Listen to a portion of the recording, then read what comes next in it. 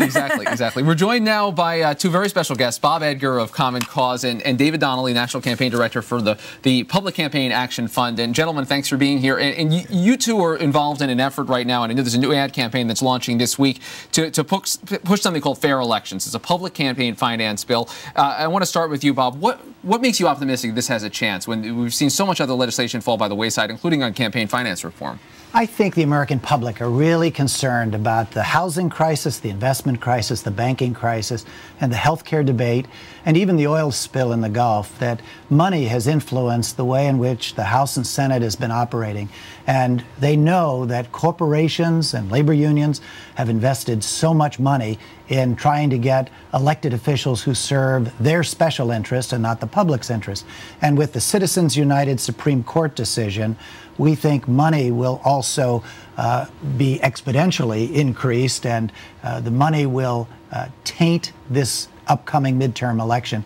And so we believe that the 157 co sponsors in the House of Representatives for fair elections now is the moment for us to move and get uh, this important legislation passed so that voluntarily right. members of the House and Senate can run without taking any special interest money. But just on the practical level, how close are you, do you think, to actually getting this passed? That's a lot of co sponsors, but can this get across the finish line? The answer is yes. Uh, we think that this is the moment. We have uh, strong statements out of uh, the Speaker of the House, Pelosi. We have a leader in the House side in John Larson, who's the author of the bill on the House side. And we have at least 30 other members of Congress who have not co sponsored the bill but have told us that they support the legislation.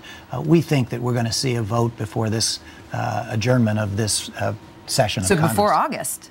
Well, before October. Or, sorry, back for October. David, as you know, it's very difficult to get anything done on campaign finance reform because a lot of these same special interests you're talking about. The, the House recently passed something called the Disclose Act, which right. I know you're familiar with. The Senate hasn't done anything on it yet. A lot of critics, though, looked at this and said, you've just carved out big exemptions for special interests. You said the NRA, the AARP, they don't have to play by the same rules. If this is what Congress has to do just to squeak something through, right. how, how can you do something even bolder than that? Well, I think because the public wants something bolder. Uh, than what they're seeing right now um, Congress take up. They want to see something that really gets to the root cause of the problem, which is uh, the amount of time that members of Congress spend raising money from uh, from wealthy interests. And frankly, members of Congress want to get off that fundraising treadmill. We see a lot of support from members of Congress who are tired of the constant telemarketing from the uh, the phone calls that they need to make to perfect strangers around the around the country to raise money, and they want to have a different kind of campaign finance system as well. And so we're seeing the the growth of support not just uh, uh, outside of Congress but also within Congress for changing the way that elections are paid for. But Bob, is the Disclose Act even worth it? I mean, did, when, you, when no, you're saying that these big groups disclose, don't have to play by the same rules, the Disclose Act is important, but it's inadequate. And we see that particularly freshman members of Congress and others are hungry to be shown as reformers. And we think the Fair Elections Now Act is stronger, uh, it's voluntary, it meets the Supreme Court uh, challenges, and uh, we think that it will uh, be helpful to both Democrats and Republicans uh, this fall. And we believe a strong vote in the House leads us to uh, a strong vote in the Senate. Uh, you know, the, the, members of the House and Senate are tired of all of the money raising. I ran for the United States Senate uh, years ago, and uh, the, I ran against Arlen Specter of Pennsylvania. He raised six million. I raised four million. Uh, just three years ago, the two candidates for Senate in Pennsylvania raised $37.5 million. Just think how much money every day they had to raise, most of it coming from special interest. Back in the olden days, the special interest put money in, but they used to come first with their talking points, their specific ideas. And if you voted right, they supported you. If you didn't vote right, they were out helping your opponent.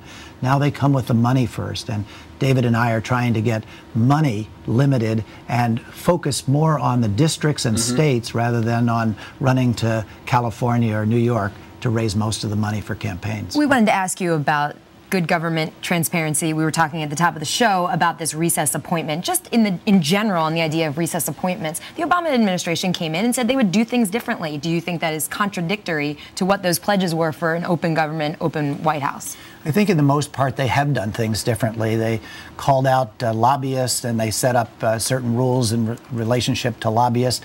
Uh, my complaint about that is they didn't connect the lobbyist with money, and I think it's really a toxic cocktail. Uh, this recess appointment is based on frustration. Frustration on the Senate side with the filibuster, and also with the fact that one senator can hold up a, an appointment. And we need more transparency in the Senate. And, uh, but in the I, meantime, I mean, the, the recess appointments, though, this exists in the Constitution. David, I want your take on this as well. This exists in the Constitution. I think it was written during a time where it was very hard for members of Congress to get back here. There were long recesses. Right. That's not the case anymore. This is purely a political end around, isn't it? Well, it, it, may be, but I think Bob is right. I mean, there is a, a process of how uh, uh, legislation and appointments get made that is bottled up by, by one chamber and by, a, you know, it could be as, as few as, as one senator. And, you know, I think what the public is clamoring for is for dramatic changes in the way that how business is done here in Washington. And there may be lots of different things that can be done to fix the way that Washington works, but the biggest thing that we believe could be done is to address the money chase, that, that members of Congress spend far too much time thinking about money and raising money than dealing dealing with the issues that are uh, before their constituents and dealing with the, you know, with the uh, the challenges of, of meeting their, their constituents' needs. Uh, and so, and that's what the public is, is, is asking for as well. We have organizations working in 24 mm-hmm. states around the country to advance the campaign. We're starting a multi-million dollar uh, uh, campaign to, to, to move this legislation forward and to pass the legislation in, in the House. And hopefully that will start a national debate, not just about just passing this law, but about fixing the way that, and, that Washington works. And do you have a guarantee from Speaker Pelosi that there'll be a vote? We do, and uh, it's been public. Uh, she was on uh, mm-hmm. television speaking publicly about it. Uh, and Leader Reid? Hold her to her word. Leader Reid? Senate? Oh, that's another story. Getting there. All right. All right. Bob Edgar and, and, David Donnelly, we appreciate you being here. This is the Fair Elections Act, and we'll look for your campaign ad launching, I believe, tomorrow. Thanks, Thank guys. You. Thank you.